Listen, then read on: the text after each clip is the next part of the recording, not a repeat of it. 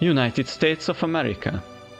Hungary. Erre jön az a vicc, hogy a második vagy az első világháború, nem, azt hiszem a második világháborúban volt, hogy Magyarország hadat üzent az amerikaiaknak. Az amerikaiak meg így néztek, és így nagyjából elővettek egy térképet, hogy hol van Magyarország? Hol van az Egyesült Államok? Miért? Miért?